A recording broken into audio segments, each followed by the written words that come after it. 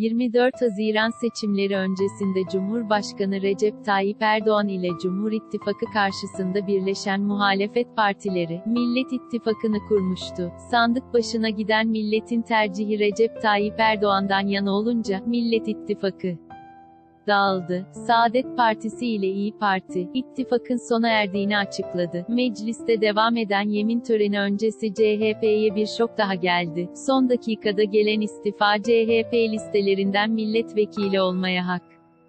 Kazanan iki Saadet Partili, CHP'den istifa etti. İstanbul Milletvekili Cihangir İslam ile Konya Milletvekili Abdülkadir Karaduman, meclis başkanlığına istifasını verdi. Böylelikle, CHP'nin milletvekili sayısı 146'dan 144 düşmüş oldu.